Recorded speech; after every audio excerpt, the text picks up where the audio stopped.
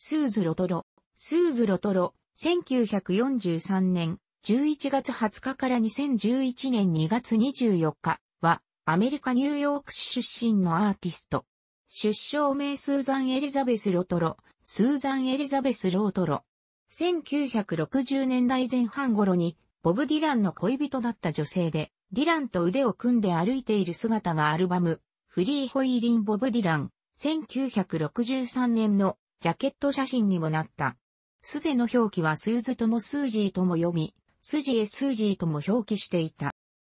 近年はブックアートに取り組んで作品を発表していた。また、ディランのドキュメンタリー映画、ノーディレクションホーム、2005年にインタビュー出演し、2008年、当時を回想した著書を出版した、日本語訳は2010年。1943年11月20日、ニューヨーク市ブルックリンクの11市ホスピタルに生まれ、クイーンズ区のサニーサイドで育つ。2歳離れた姉にカーラ・マリア・ロトロがいる。父親、ジオアーチのピエトロ・ロトロ、ジャックと母親、マリア・テレサ・ペザッティ・ロトロ、メアリはイタリア系の共産党員であり、マッカーシズムの中で経済的にも精神的にも辛い幼少期を過ごす。両親とは異なる幼児で、似顔絵画家のピエトロ・ペザッティ、ピーターはムッソリーニ支持のファシストであった。1958年2月、14歳の時に父親が他界する。彼女自身は両親の影響を受け、早くから社会活動を行っていた。中学生の時には公民権運動として人種別カウンターを設けていたスーパーマーケットでピケを張ったし、公民権運動団体の人種平等会議コアの職員を務めたり、20歳の時には政府によって渡航が禁止されていたキューバへの学生訪問団に加わってチェゲバラと面談するなどしているが、ソ連の体制やスターリニズムには懐疑的であり続けた。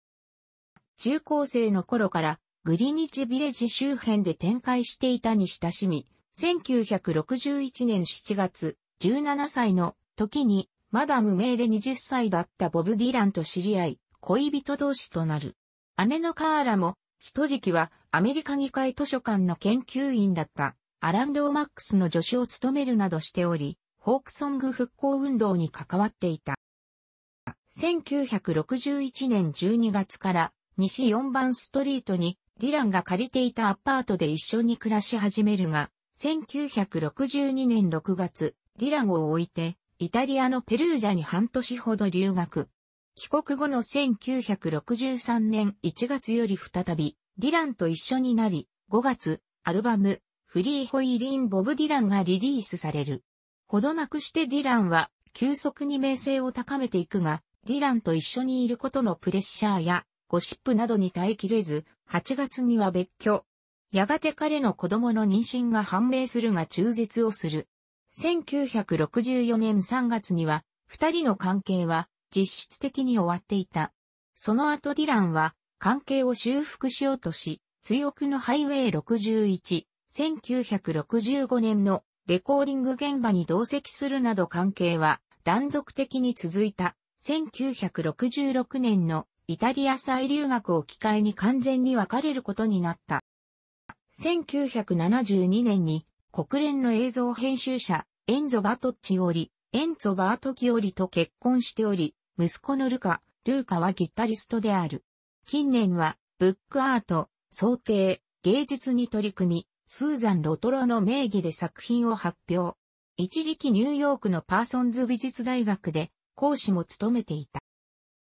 長らくディランについてまとまった発言をしてこなかったが、2004年以降はメディアに登場して1960年代前半のグリニッチビレッジについて語るようになり、ディランのドキュメンタリー映画、ノーディレクションホーム、2005年にインタビュー出演。2008年、当時のビレッジの風俗と、ディランらを含むフォークミュージシャンたちの群を改装した著書を出版した。日本でも、グリニッチビレッジの青春の題名で2010年に日本語訳が出版された。2011年2月24日、肺がんのためニューヨークマンハッタンの自宅で亡くなった。スーズは初期のディランに様々なインスピレーションを与えたミューズ的存在とされており、彼女が愛読していたアルチュール・ランボーなどのフランス象徴詩やシュールリアリズムの陰でディランの詩が難解になっていたとも指摘されている。オフブロードウェイの舞台美術制作などを行っていた関係で演劇にも詳しく、ディランにブレヒトなどを教えたのも彼女である。ディランが作詞した楽曲の中には、スーズのことを歌った歌、もしくはスーズとの関係がインスピレーションとなった歌がある。